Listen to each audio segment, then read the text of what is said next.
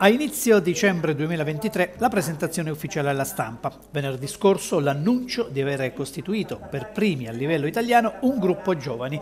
In pochi mesi di attività fa segnare già un record la sezione di Chieti di Professione Italia, network di liberi professionisti e imprenditori, ispirato dai valori della tradizione liberale, popolare e nazionale, con l'obiettivo di supportare la coalizione di governo di centrodestra mettendo a disposizione le proprie competenze con un elemento di novità, qual è l'unione trasversale di professionisti qualificati. All'appuntamento ospitato dal Caffè Vittoria esponenti nazionali e locali di Professione Italia, politici di centrodestra e naturalmente giovani animati da tanto entusiasmo. A livello nazionale a guidare Professione Italia è l'avvocato Antonio De Angelis. Siamo riusciti a costituire nel territorio nazionale eh, circa 35 sezioni in tutta Italia, da nord, da Torino a Ragusa. Sono sezioni provinciali? Sono sezioni provinciali, l'organizzazione è su base eh, provinciale, quindi l'obiettivo è quello di cercare nel più breve tempo possibile, eh, speriamo di riuscire a farlo entro il 2024, di coprire tutte le province. Sono 110 110 se non ricordo male. Sono 110 ma siamo a buon punto perché siamo a poco meno della metà e insomma confido nel fatto che davvero eh, nel giro di un anno si possa riuscire a coprire tutto il territorio nazionale. La eh, territorialità è un nostro elemento, vuole essere un nostro elemento caratterizzante.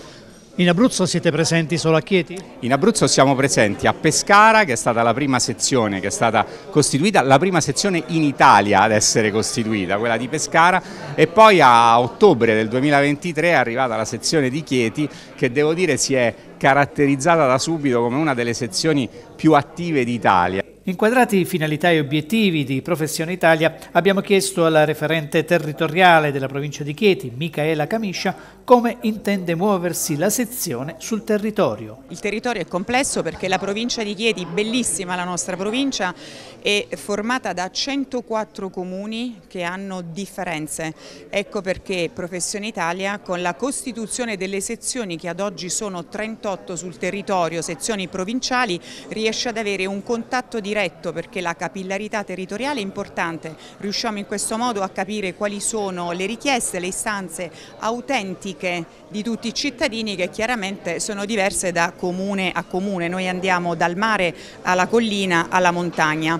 Al di là di ogni più rosea aspettativa abbiamo avuto dei risultati brillanti, il nostro convegno del 3 febbraio a Lanciano che ha parlato della legge urbanistica e della Via Verde che è una cosa interessante perché è uno dei paesaggi più belli della provincia di Chieti ci ha dato una grande soddisfazione. Per noi oggi è una giornata importante perché siamo la prima sezione che costituisce il gruppo giovani con lo scopo di lanciare una sfida alla disaffezione politica. Non vogliamo fare politica, non vogliamo sostituirci agli ordini di appartenenza assolutamente, ma abbiamo intenzione di mettere la nostra conoscenza, la cosiddetta contaminazione dei saperi a servizio della politica per cercare di avere un dialogo qualificato con la politica e cerchiamo di fare questo anche attraverso i nostri ragazzi, benché non siano già professionisti, ma essendosi elevata l'età in cui i nostri giovani si titolano abbiamo pensato